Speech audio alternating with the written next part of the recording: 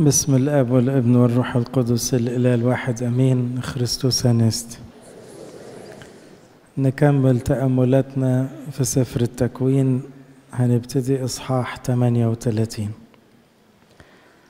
نهاية إصحاح 37 كانت قصة بيع يوسف إلى المصريين واكتشاف يعقوب أنه حسب القصة اللي وصلت له إن ابنه مات افترسه وحش رديء ودخل يعقوب في اكتئاب وفي حزن شديد وما بقتش في حاجة بتعزيه وقال أنزل إلى ابني نائحا إلى الهاوية صدقوني الواحد بيعذر بتوع العهد القديم لما يحزنوا على نياحة شخص. وفاته يعني موته في العهد القديم يمكن ما لهمش رجاء. اللي بيموت رايح الجحيم. ولسه مش عارفين إمتى المسيح هيجي ويفتح الفردوس. بالنسبة لنا في العهد الجديد الموقف اختلف. إحنا زي ما قال القديس بولس لا نحزن كالباقين الذين لا رجاء لهم. يعني في العهد القديم حزنهم رديء لأنه برضو معاهم عذر لا شافوا فداء ولا خلاص ولا سمعوا عن الفردوس اللي اتفتح ولا عندهم رجاء الحياة الأبدية إلا بشكل كده من بعيد. ماتوا على رجاء أن لسه المسيح يخلصهم وينقلهم ودي مش معروف إمتى. إنما إحنا حسب إيماننا المسيحي أي واحد بيموت ماسك في ربنا يسوع في نفس لحظة خروج روحه بتبقى في الفردوس.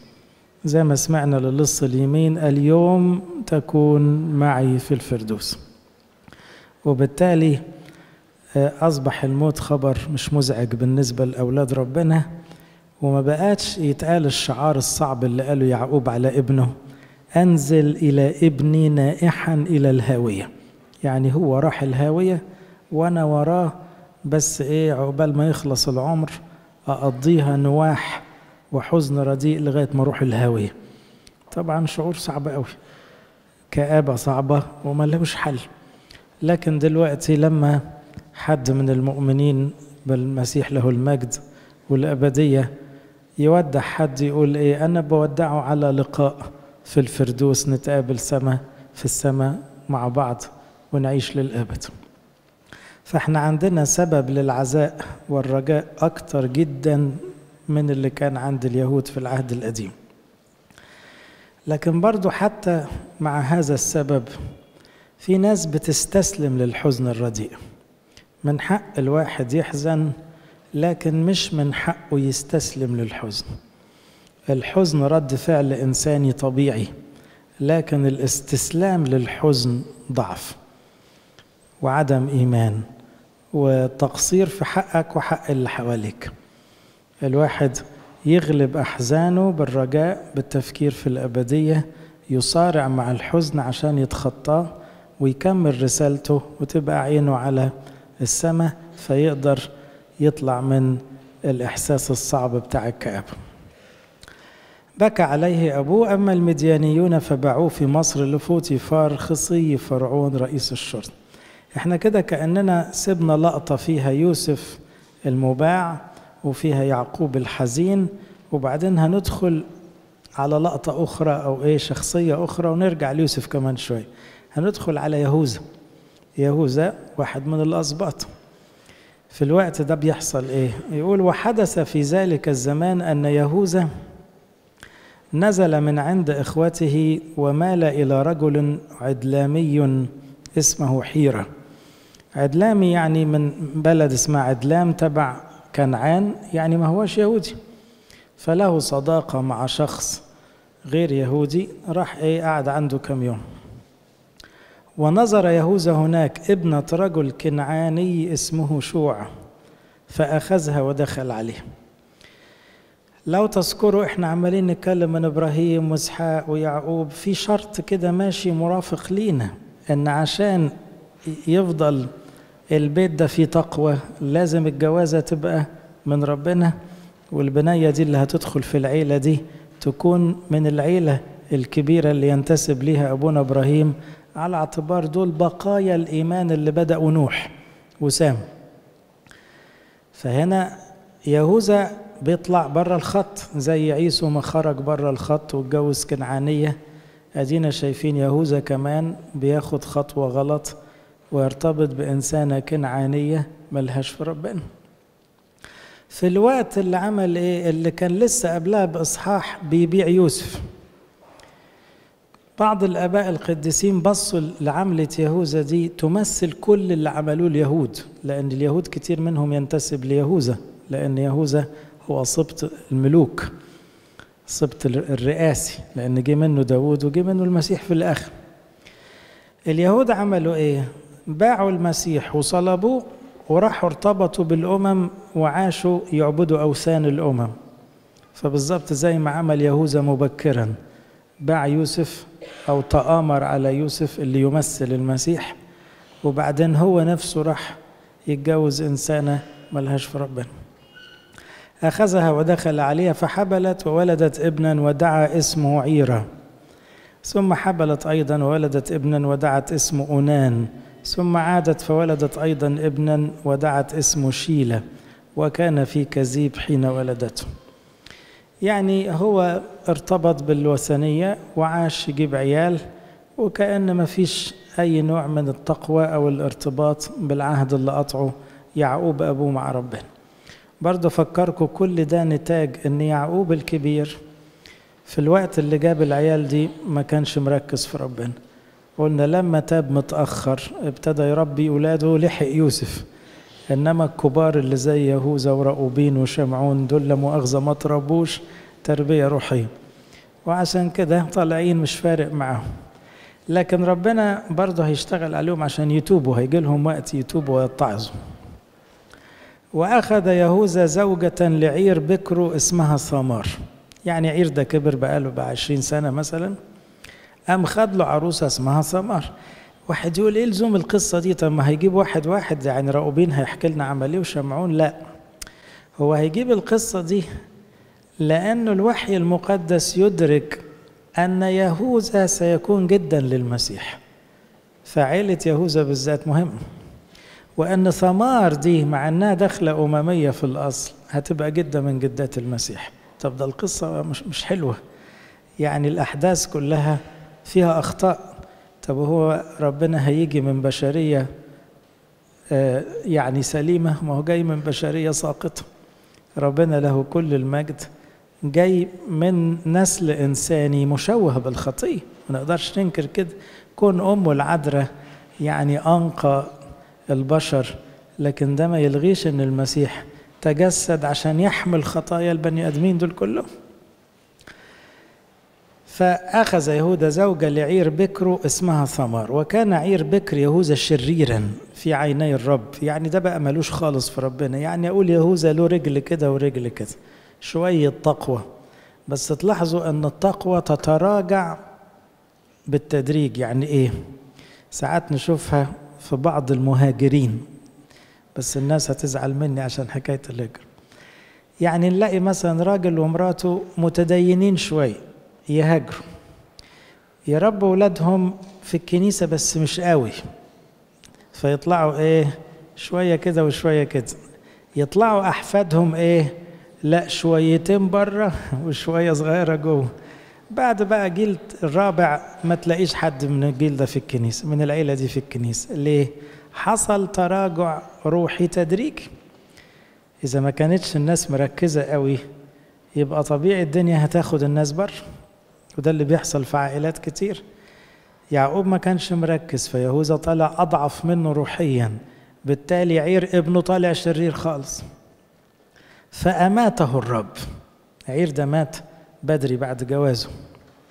فقال يهوذا لأونان ادخل على امرأة أخيك وتزوج بها وأقم نسلا لأخيك. يبقى فكرة الشريعة اللي هتيجي في موسى هي موجودة من وقت أبونا إبراهيم. فكرة أن الأخ يجيب عيل على اسم أخوه اللي توفى. مجرد أول طفل بس حفظا لاسم هذا الرجل اللي مات. فدي شريعة موجودة من الأول. فقال له يا ابني خد البنية دي وهات لنا أول عيل ولد على اسم أخوك اللي مات. فعلم شوفوا بقى العيلة الملخبطة دي علم أونان أن النسل لا يكون له. شوفوا الأنانية وصلت لإيه؟ إن هو الولد لو جاه ولد مش هيبقى ابنه هو هينسب إلى عير. فعمل إيه؟ فكان إذ دخل على امرأة أخيه أنه أفسد على الأرض. أفسد على الأرض يعني ما كملش العلاقة الخاصة اللي بينهم وإيه مرضاش يبقى لقاء كامل عشان ما تحبلش منه. طبعا هذا التصرف يدل على أنانية ويدل على شهوة كمان ويدل على ناس ما لهاش في ربنا خالص وبقت بتفكر بطريقة أقرب إلى الحيوانات. علم أنان أن النسل لا يكون له فكان إذ دخل على امرأة أخيه أنه أفسد على الأرض لكي لا يعطي نسلا لأخيه فقبح في عيني الرب. الأولاني كان شرير والتاني أناني وطماع وشهواني فأماته أيضا. طبعا المفروض مين بقى اللي عمال ياخد الأقلام دي؟ يهوذا الأب لازم يفوق ويعرف أن عملته الأولانية هي سبب كل اللخبطة دي. أنه تزوج امرأة كنعانية وطلع بره الخط الروحي. وادي النتيجة ولاده ما يعرفوش ربنا وبيموتوا بسبب الشهوات اللي تربوا عليها فقال يهوذا لثمار طبعا المفروض التسلسل يعمل إيه؟ ياخد الشاب الثالث يتجوز ويجيب إيه طفل. ودي أقرب قصة للقصة اللي جم يساوموا فيها ربنا يسوع. فاكرين الحكاية اللي جم الناموسيين يشككوا في في حكاية القيامة ويقولوا سبع إخوات وخدوها إيه واحدة ورا التاني كده؟ وبعدين يا ترى في السماء هتبقى مرات مين؟ وقال لهم أنتوا مش فاهمين حاجة لأنه في السماء ما فيش جواز. فقال يهوذا لثمار كنته كنته يعني مرات ابنه اقعدي أرملة في بيت أبيك حتى يكبر شيل ابني لأنه قال لعله يموت هو أيضا كأخويه. طبعا هو كمان بيكذب لأنه مش عاوز يقول لها أنت بتموتي العيال؟ فقال إيه هيجيبها في حكاية إنه الولد لسه شاب صغير استني شوي.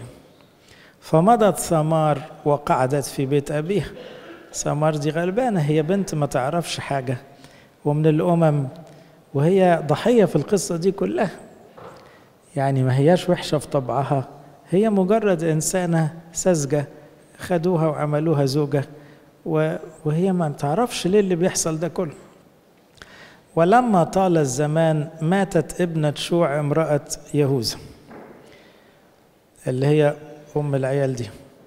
ثم تعزى يهوذا فصعد إلى جزاز غنمه إلى تمنة هو وحيرة صاحب العدلام. الظاهر صاحبه ده ما بيجيش منه حاجة كويس لأنه في صداقات تبعد الناس عن ربنا. فده راجل عدلامي كنعاني مش ممكن هيفكروا بربنا ولا عيلته ولا هيقول له ارجع لأبوك يعقوب خد بركته واسأله مش هيقول له الكلام ده.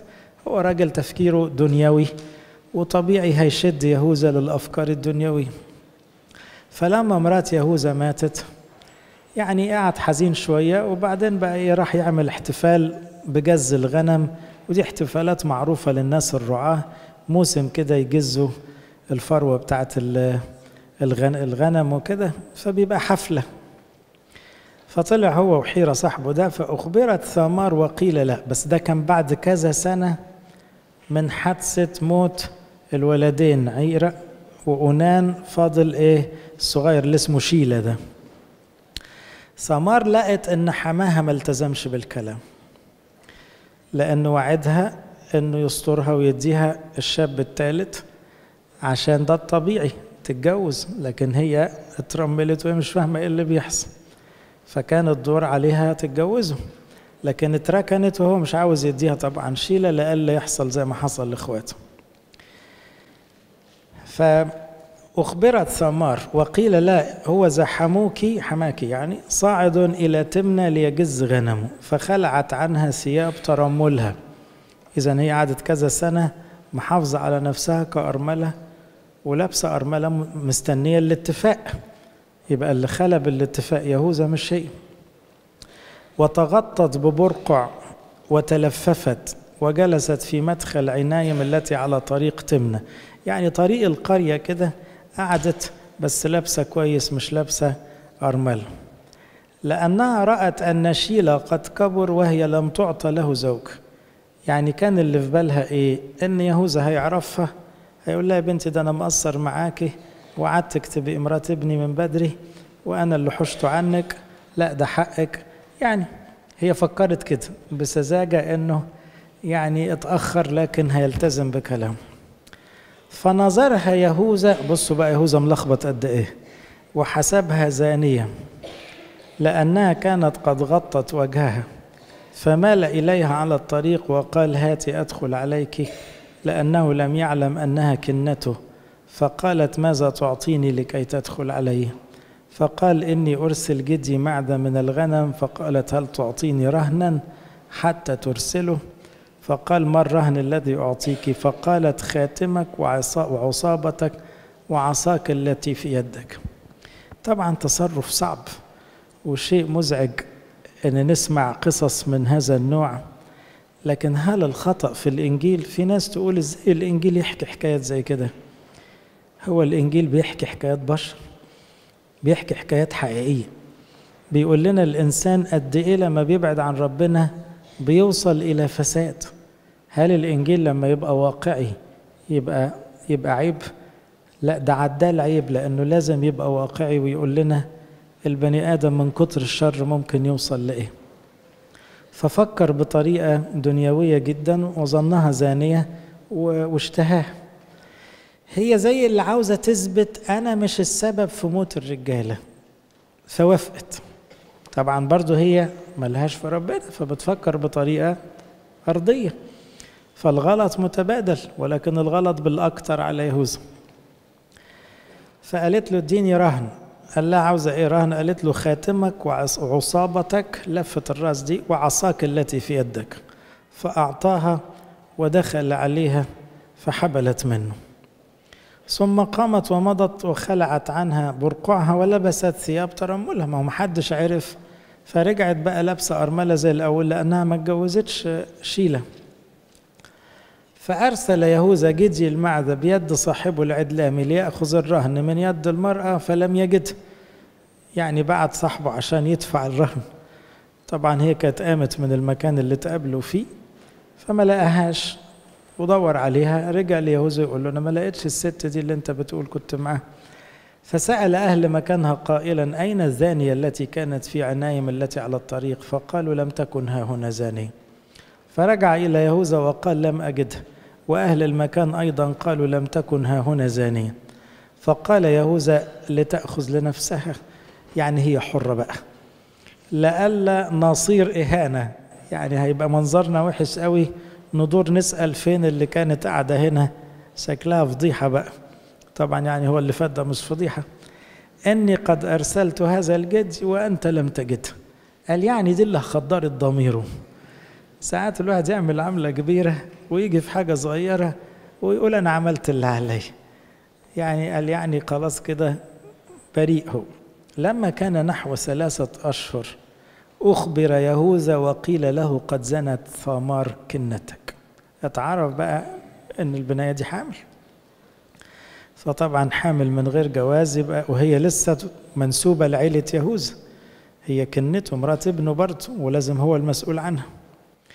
وها هي حبلى أيضا من الزنا. فقال يهوذا اخرجوها فتحرق. شوفوا الانفعال بقى والاندفاع يعني بقى الشرف بقى وإيه نحرقها لأنها زانية. أما هي فلما أخرجت أرسلت إلى حميها قائل من الرجل الذي هذه له أنا حبلة وبعتت له إيه العص الخاتم والعصابة والعصاية. قالت له اللي عمل العملة صاحب الحاجات دي عشان تفوقه وقالت حقق لمن الخاتم والعصابة والعصا هذه فتحققها يهوذا وقال هي أبر مني. أنا مش عاوز أقف عند كل التفاصيل اللي فاتت لأنها أحداث مش طبعا ربنا يرحمنا من الفساد والبعد عن ربنا والتفكير الشهواني والجزداني. لكن أخيرا اتحرك جزء طيب في يهوذا. لما قال إيه؟ هي أبر مني. أحيانا الواحد لما يبعد عن ربنا الشيطان بيخليه شايف نفسه صح وكل الناس غلط. وفضيلة جميلة في أي إنسان أنه يعلن ويعترف أمام ضميره أن الناس أبر منه حتى أشر الخطأ. هي غلطانة لكن الحقيقة هو غلطه أكبر. غلطه مضاعف لأنه ما التزمش بالشريعة وما ادهاش شيلة ولأنه هو اللي وقع في الزنا. هي غلطها أقل لأنها قبلت العرض بتاعه لكن هو كان عادل في الحكم قال هي أبر منه. هي أبر مني دي أحبائي تفكرنا. يوم ما جابوا الست التي أمسكت في ذات الفعل قدام ربنا يسوع كلهم شايفينها مجرمة كلهم شايفينها سيئة جدا. ربنا يسوع عاوز يفوقهم ويوصلهم للشعار ده. فقال لهم اللي فيكم ما بيغلطش يرميها بأول حجر وبدأ يكتب على الأرض. مش بعيد كان بيكتب الخطايا أو الوصايا عشان يفوقهم. طب هي اتمسكت في فعلة وانت كام فعلة اتسطرت وكام عملة سودة عدت وابتدى بقى إيه كل واحد يراجع ضميره إنه في حاجات كتيرة مسطورة فخاف. وابتدوا من الكبار للصغيرين ينسحبوا.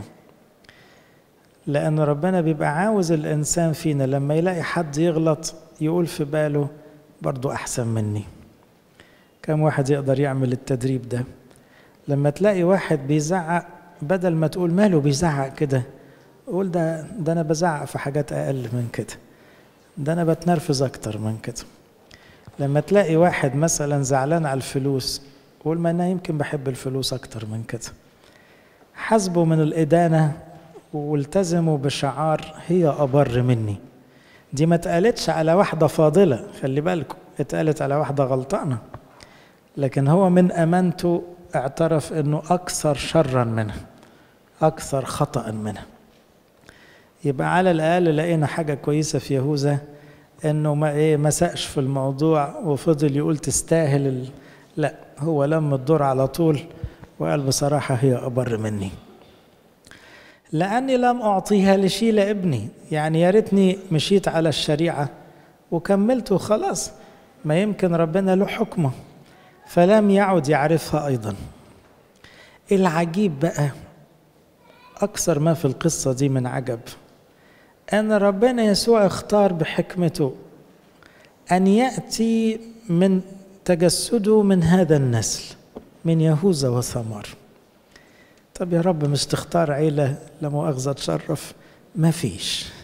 ما فيش في البشر عيلة ما فيهاش عيوب وما فيهاش خطايا وما فيهاش تلوث. الجميع زاغوا وفسدوا وأعوزهم مجد الله.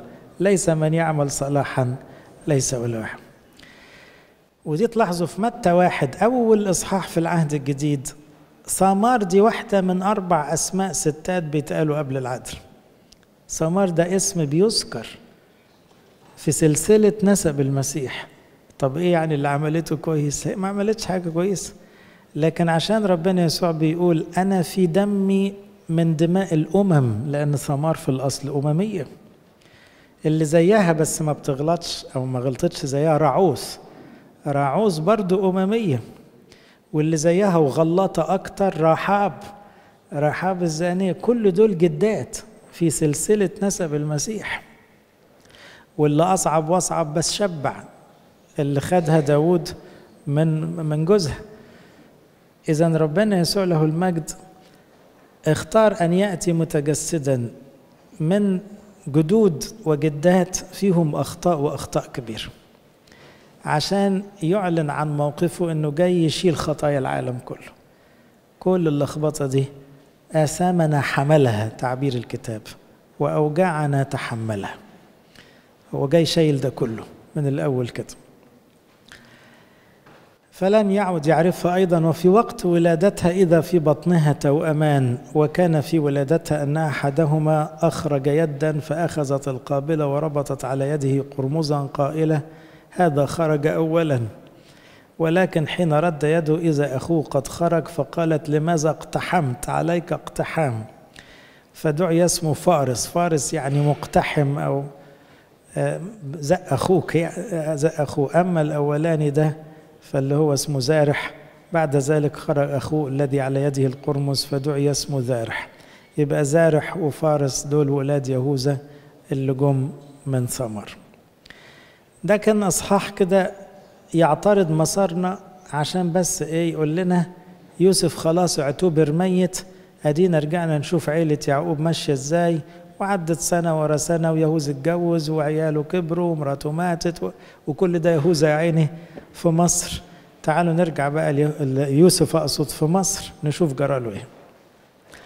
أما يوسف فأنزل إلى مصر واشتراه فوتيفار خصي فرعون رئيس الشرط رجل مصري من يد الإسماعيليين الذين أنزلوه إلى هناك. وكان الرب مع يوسف فكان رجلا ناجحا وكان في بيت سيده المصري. الشعار ده هيتكرر والشعار ده يهمنا جدا كان الرب مع يوسف دي.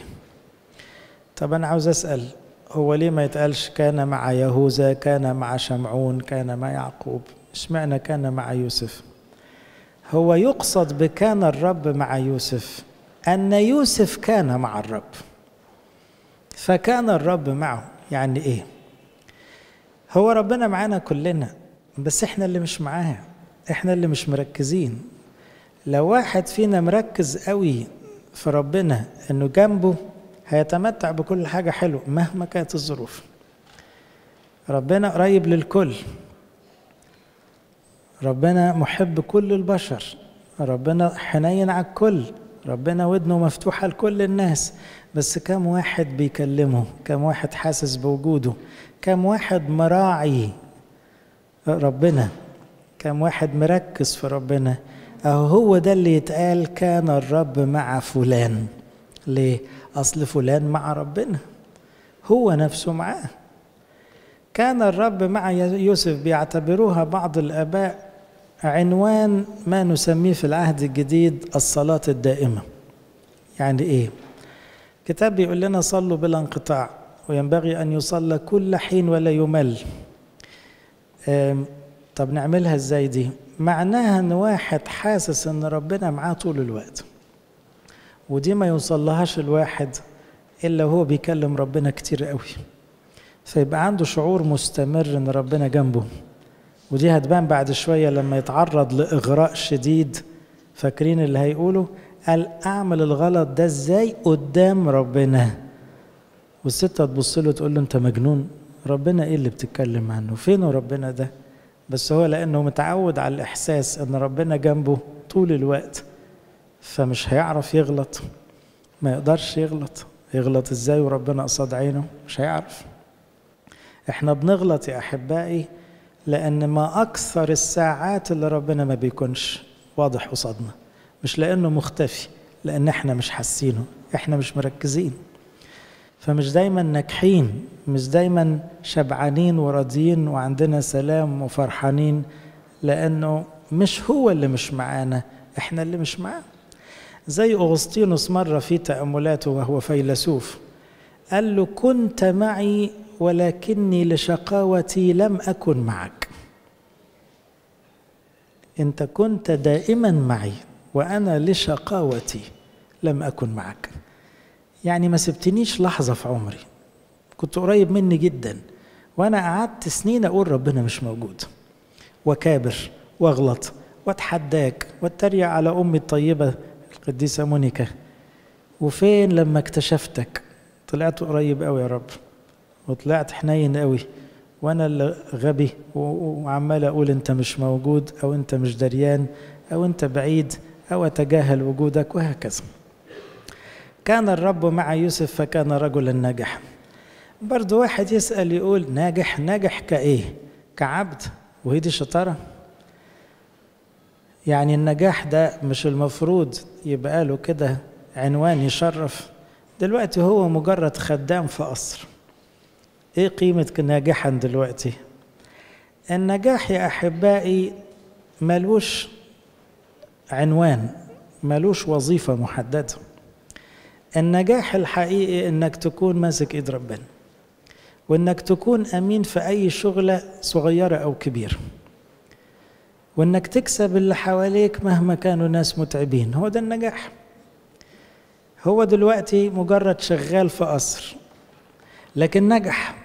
الناس كلها حبته سيده ائتمنه كان موفق في كل حاجة بيعملها لدرجة أن فوتيفار ده عينه زي رئيس على البيت كله أو مدير أعمال للقصر كله وهو مجرد عبد. إذا الموضوع نسبي. ممكن واحد يبقى مركزه كبير أو ما يكونش ناجح. وممكن عامل بسيط بس يكون ناجح لأن قلبه مع ربنا. فالنجاح يمثل في الأمانة وفي محبة الناس. أهم من أي حاجة. النجاح مش فلوس. النجاح مش مجرد كرامة واسم. النجاح الحقيقي إنك تكون أمين في اللي بتعمله ايا كان اللي بتعمله. وإن كل اللي حواليك يحبوك ويقدروك. وكان في بيت سيده المصري. ورأى سيده أن الرب معه. برضو التعبير ده جميل أوي. رأى سيده أن الرب معه. طب سيده ده يعرف ربنا؟ لا. طب عرف منين ربنا معاه؟ زي لو رجعتوا كم إصحاح تلاقوا إن لابان قال لي يعقوب أنت أصلك ربنا معاك. طب لابان ده يعرف ربنا؟ ما يعرفوش.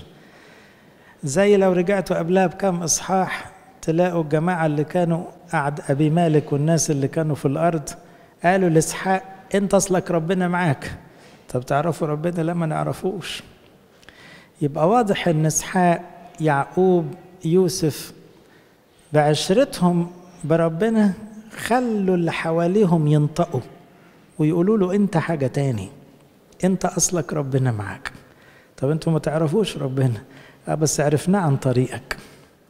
هذا النجاح مش طبيعي. هذه الأمانة مش طبيعية. هذا التفوق مش عادي. انت وراك سر وطالما بتقول ربنا معايا بيطلع معاك حق. يبقى شوفوا الأمانة كرازة. مجرد الواحد يكون أمين ومستقيم بيشهد لربنا. حتى الناس البعيدة اللي ما تعرفش ربنا يقولوا يضطروا يعترفوا في لحظة أصل ربنا معاه ربنا اللي هم أساسا ممكن ما يكونوش مؤمنين بيه زي فوتيفار المصري ما كانش مؤمن. لكن يتقال كان رأى سيده أن الرب معه. مش قادر يكابر ولا يفاصل ولا يقول حاجة تاني. مش معقول النجاح اللي عند يوسف ده. مفيش حاجة بتدخل إيده إلا وبتمشي كويس. تروح إيد أي حد تاني تبوظ. مش طبيعي. هذا التفوق والتوفيق حاجة مش مش عادية. وإن كل ما يصنع كان الرب ينجحه بيده. ده كمان يدل على إيه؟ إن يوسف كل عمل كان يعمله كان ينسبه لربنا ودي هتبان لما وقف قدام فرعون. أول ما فرعون يقول له أنا عمري ما شفت كده يقول له ربنا ربنا هو السبب مش أنا. على طول ينسب كل شيء لربنا. فيوسف من صغره يقول ربنا بارك نعمة ربنا تساهيل ربنا خير ربنا فضل ربنا. طب مش مكسوف يا يوسف تقول اسم ربنا؟ في بلد كلها أوثان أو كلها تماثيل لا مش مكسوف. مش هيتريقوا عليك شوية العبيد اللي حواليك ويقولوا لك فين ربنا لما باعوك إخواتك؟ مش مكسوف. هيتريقوا عليك ويقولوا لك فين ربنا بتاعك لما أنت قاعد كده مذلول في القصر؟ طب ما كان يخلصك أحسن من العبودية برضه لن يخجل ولم يخجل أبدا. رأى سيده أن الرب معه وأن كل ما يصنع كان الرب ينجحه بيده. فوجد يوسف نعمه في عينيه وخدمه فوكله على بيته ودفع إلى يده كل ما كان له. إذا فوتيفار ده وده بمثابة وزير كبير يعني رئيس الشرط ورئيس الشرطة ده غالبا بيبقى راجل شديد قوي وحازم مفروض كده طبيعي في الشرطة كده. ومع هذا أعجب جدا وعلى فكرة الناس دول غالبا ما بيستأمنوش حد بالساهل برضه لأن شغلة الشرطة عاوزة حذر وحرص ومع هذا ائتمنوا على كل بيته بطريقة غير معتادة أبدا من شخص زي كده. وكلوا على بيته ودفع إلى يده كل ما كان له. تفكرنا بشعار حطه لنا ربنا يسوع له المجد. قال الأمين في القليل أمين أيضا في الكثير أو أقيم على الكثير. والشعار ده على فكرة مش بس روحي شعار إنساني. يعني إيه؟ الكفاءة المفروض هي اللي تحكم الترقي. بمعنى لما تبقى عندك موظف كفء طبيعي تديله مسؤولية تاني لأنك لقيته أمين. لو هو مش مجتهد ومش أمين يا تسحب منه المسؤولية اللي عنده يا تكتفي بيها. لكن لقيت واحد مجتهد وأمين تديله مسؤولية تاني. شويتين تكبره أكتر وتكبره أكتر لأنه كان أمين في القليل متوقع يبقى أمين في الكتير. يبقى حتى دي في لغة الدنيا مقبولة. يعني دي طريقة ربنا معانا. لما يلاقي خادم أمين يكبر خدمته. لما يلاقي كده واحد أمين في شغله يوسع عليه شغله يكتر عليه. وكمان في العلاقات الإنسانية لما الناس تحبك وتأتمنك أصحابك يزيدوا ثقة الناس فيك تزيد سمعتك الطيبة تسبقك. إذا دي حاجة طبيعية. فهنا وجد يوسف نعمة في عينيه وخدمه فوكلوا على بيتي ودفع إلى يده كل ما كان له. اداله كل حاجة. وقال له بص بقى إيه أنا كفاية عليا الوزارة اللي في البيت ده كله من الألف للياء مش هفكر فيه. وكان من حين وكلوا على بيتي وعلى كل ما كان له أن الرب بارك بيت المصري بسبب يوسف. زي ما حصل عند بيت لبان. بيت لبان اتبارك أضعاف أضعاف لما يعقوب اشتغل عند لبان. وكانت بركة الرب على كل ما كان له في البيت وفي الحق. كلمة بركة تستوقفنا شوية لأن كلمة بركة دي ملهاش معنى عند الناس اللي العقلانيين اللي بيحسبوها بالورقة والقلم. زي إحنا في طقسنا القبطي عندنا طقس جميل. لما نلاقي حد خامس الحدود في الشهر أربعة عدد لكن ممكن يصادف كل كم شهر يجي في الشهر القبطي حد خامس يكون الحد ابتدى أول كم يوم فيجي إيه تعد توصل لحد الخامس. قراءة الحد الخامس أيا كان موقعه نقرأ فيها فصل الخمس خبزات والسمكتين ونسميه فصل البركة. يعني إيه الشهر ده بركة؟ عشان طلع لنا حد خامس فاهمين المعنى؟ فلما جالنا حد خامس وإحنا أصلنا إيه الحد ده نعزه. هذا هو اليوم الذي صنعه الرب. فنفرح إن الشهر ده فيه مش أربع حدود فيه خمسة. فنبقى فرحانين. فنحط حكاية البركة. حكاية البركة في لغتنا نقصد بها الخمس خبزات. طب هي كلمة البركة دي ما جاتش غير في تعبير وبارك. آه وبارك دي أصلها وراها سر. البركة معناها وسع وزيادة وخير وسلام بلا حساب وبلا مقدمات. يعني إيه؟ يعني اللي حصل لا يتناسب مع البداية. خمس خبزات ما يأكلوش. طبعا خمس تلاف عيل لكن اسمها بركة. فلما يقول بارك بيت يوسف قبلها يقول بارك بيت لبان قبلها إسحاق يقول لك بارك إسحاق فالأرض جابت مئة ضعف قبلها يقول له يا أبونا إبراهيم تكون بركة وأبارك مباركيك وفيك تتبارك كل أمم الأرض. يكتر قوي استخدام كلمة البركة مع رجال الله. يبقى زي ما تقول فلان ده في إيده البركة أو في رجليه البركة لأنه هو بتاع ربنا. ففعلا ربنا يبارك له ويبارك كل اللي يتعامل معاه. البركة في العهد القديم كانت تمثل عادة بخير الأرض لأن أهم حاجة عندهم الزرع والغنم والغنى والعمر والعيال. دي كلها تحت كلمة البركة. البركة في العهد الجديد يعني السلام يعني راحة البال يعني محبة الناس يعني الأبدية في الآخر. يبقى اوعى تكون عينك يهودية تبقى عاوز بركة العهد القديم. خليك بقى إيه عينك مسيحية تبقى عاوز بركة العهد الجديد. بركة العهد القديم جه المسيح وقال هذه كلها إيه تزاد لكم ما تركزوش فيها. قولة الخير والعمر والصحة والكلام ده ده ما تفكروش فيه. إحنا بنتكلم في حاجة أعظم من كده وأرقى وأحلى. إحنا بنتكلم عن الملكوت نفسه. لكن كانت البركة بالنسبة لهم هم غصب عنهم مش شايفين الأبدية ولا عارفينها كفاية. فعاوزين بس العمر والعيال والأرض والزرع والخير والغنى. فده كان واضح جدا في سيرة كل أولاد الله. وكانت بركة الرب على كل ما كان له في البيت وفي الحقل. فترك كل ما كان له في يد يوسف. أنا أتعجب يا أحبائي من فوتيفار غير المؤمن. الذي آمن بيوسف فترك له كل شيء. ونحن المؤمنين ولا نريد أن نترك كل شيء في يد يوسفنا الحقيقي ربنا يسوع. يعني فوتيفار الراجل اللي ملوش في ربنا.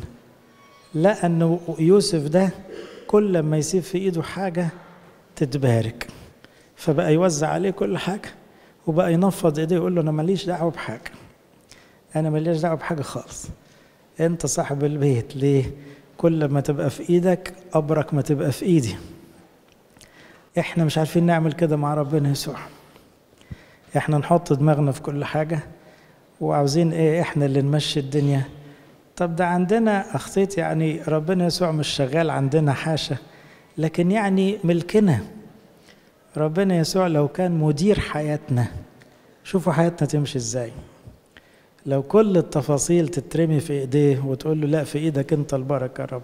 أنا مش عاوزها في إيدي أنا إيدي مخرومة إيدي ما فيهاش بركة. أنت إيدك كلها بركة. خلي العيال في إيدك والصحة في إيدك والشغل في إيدك والب... والبلد في إيدك والعمر في إيدك وكله في إيدك. وأنا هقعد إيه رايق كده وأقول لك شيل أنت. هذا الفوتيفار عمل القصة دي بتلقائية. مجرد شايف يوسف كل حاجة بتيجي عنده بتتبارك أم زق كل حاجة على يوسف. ترك كل ما كان له في يد يوسف ولم يكن معه يعرف شيئا إلا الخبز الذي يأكل. ده تسليم على أعلى مستوى. يا ريت إحنا نعمل كده مع ربنا. نقول له يا رب أنا مش هفكر في بكرة بكرة بتاعك والشغل بتاعك والدنيا كلها بتاعتك. أنا كفاية عليا إيه خبز؟ أنا كفاف أنا هاكل اللقمة واشكرك وخلاص. وكان يوسف حسن الصورة وحسن المنظر. برضو حكاية حليوة دي يعني. هو الحسن عادة بيجي نابع من قلب نقي. يعني الوجه أيضا مرتبط بالقلب. زي ما اللسان مرتبط بالقلب من فضلة القلب إيه؟ يتكلم اللسان. كذلك الوجه يعكس ما يدور في الداخل.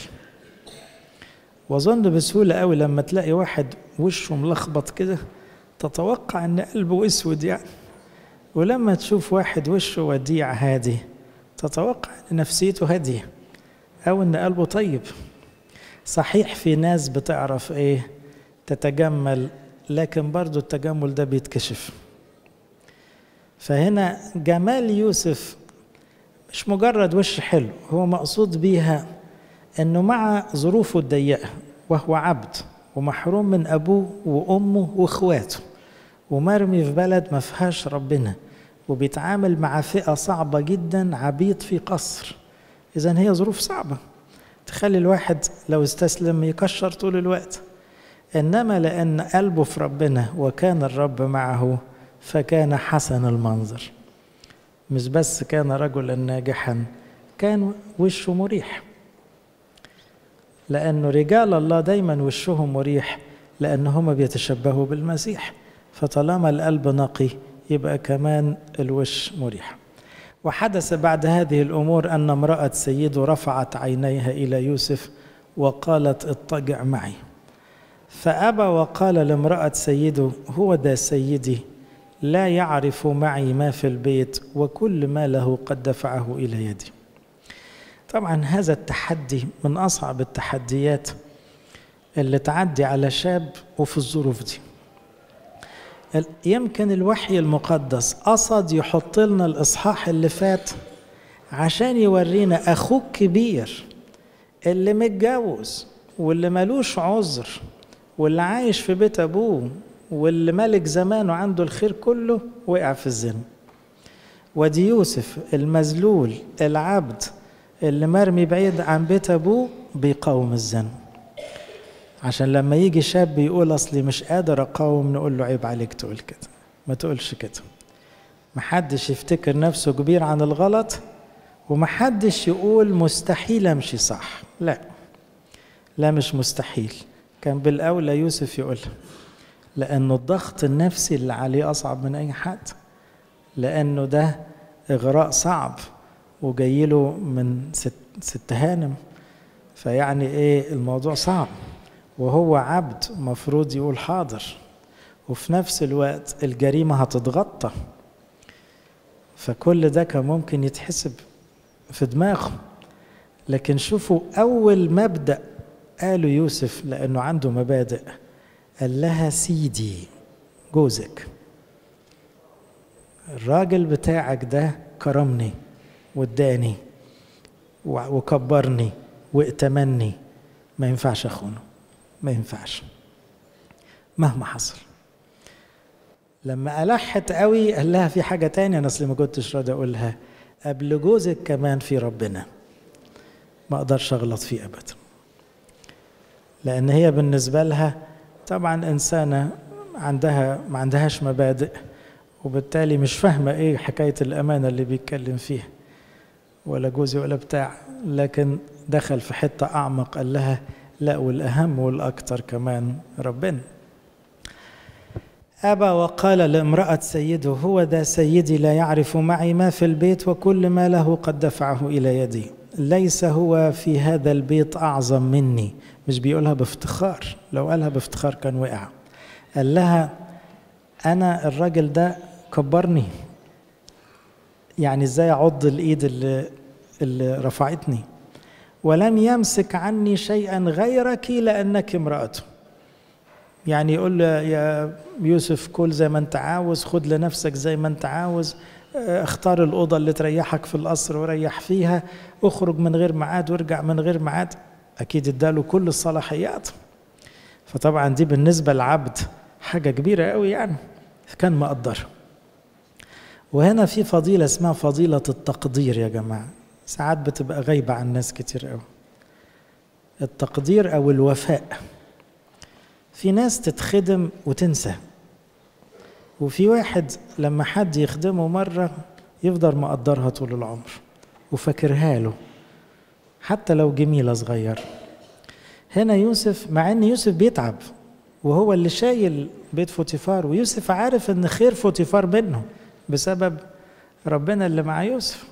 ومع هذا هو مقدر جدا إن فوتيفار ده كرمه وكبره واداله حرية و... و... وامتيازات مش عند أي حد تاني. فهنا في تقدير في عرفان في وفاء في إخلاص. الحاجات دي ما بقتش موجودة كتير. لكن دي على طول ثمر روحي للحياة مع الله.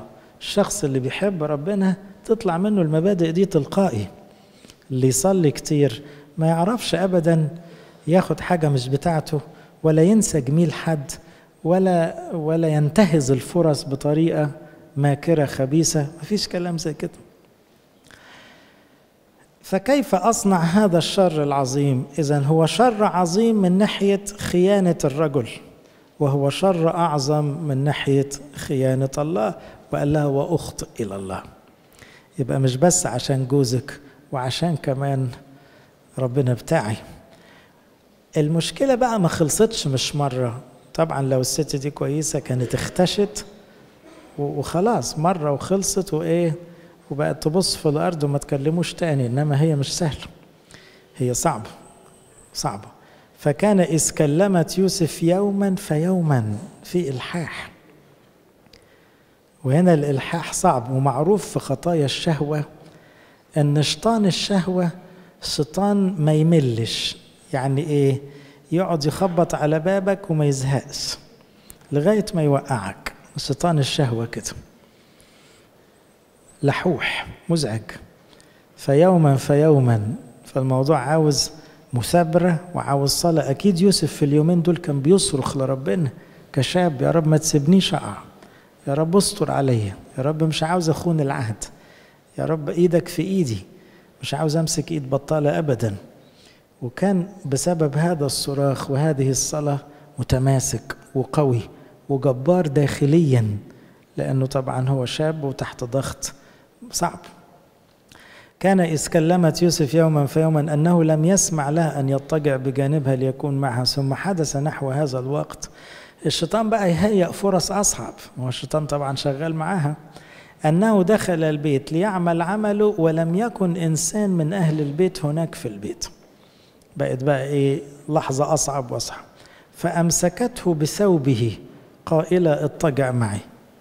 وما فيش حد وبقت صعبة. فترك ثوبه في يدها وهرب وخرج إلى خارج.